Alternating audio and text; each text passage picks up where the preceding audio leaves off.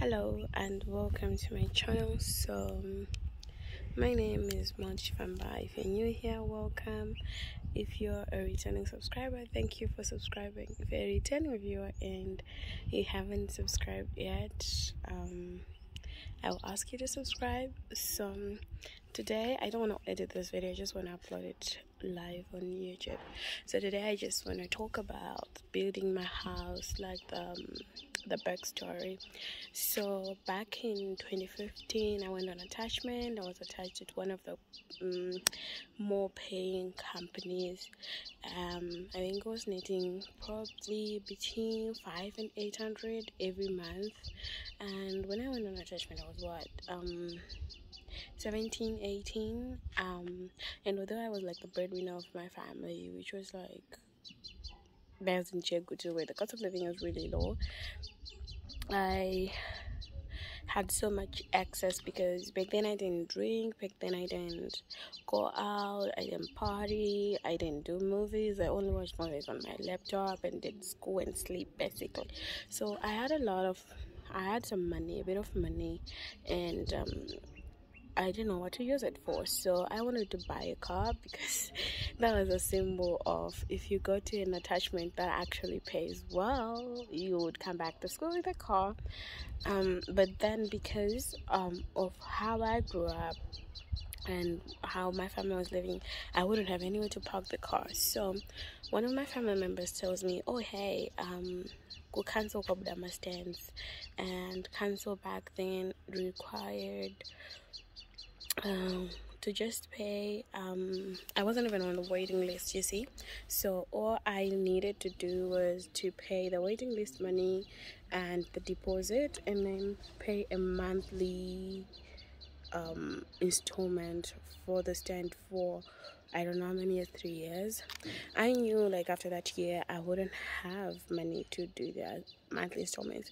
But the family member can simply say, you know what, this is government things. You pay as you get it. And when I was in college, I was making a little bit of money on the side. So I could service a little bit of the money not the entire amount uh, so 2015 that's when i did the deposit and everything got allocated a stand that farming season on Munda. um you can go on my instagram i think in my reel i'm gonna put it so that farming season on Munda. um 2016 graduated still had no money um again Wanga Urumunda. Um, then 2017 I started CTA, and in my CTA year I realized, you know what, um, it's basically going back to school and I don't have money. And I didn't have money to actually take care of myself. Worse still to take care of my family. So I needed a plan to make sure that I didn't at least have rent to pay at home. Um, because when you're like back at school full time it's, my, it's a mess. So I went to I, I as Grace would have it, I had a, um, um, a TelOne brand ambassadorship, and with that, I built a boy sky. Like it was two rooms, and my family moved into the boy sky. Um, and buying two, I hadn't finished paying for the stand. However, the council allowed us to. They said just pay something so that you're up to date with your installments, and then you could build a boy sky and an external toilet. I did that, and then my family moved. That was 2017. 2018, I started working um, at Deloitte, um, and you know, like working, you don't earn that much, but I used to have out of town clients. So when you have a goal, it's easy to save and to find the money.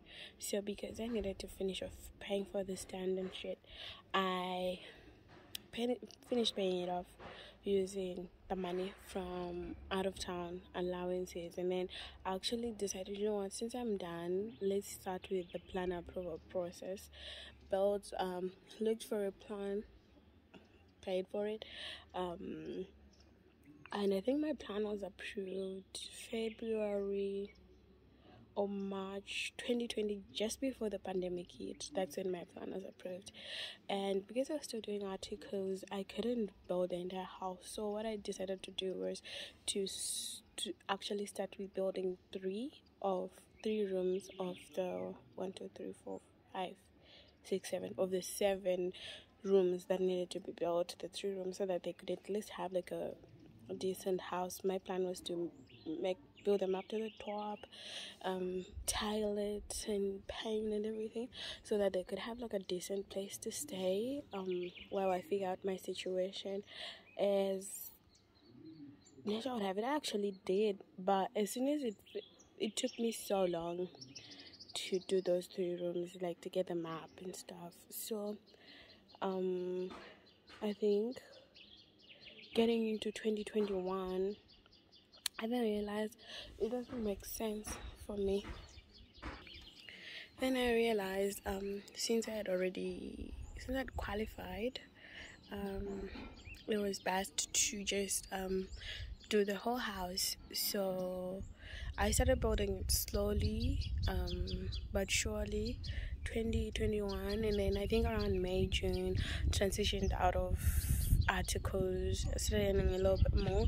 So i started to pick up a little bit of path and i think by january 2021 the externals was done we're done but the interiors guys your building is such an expensive sport.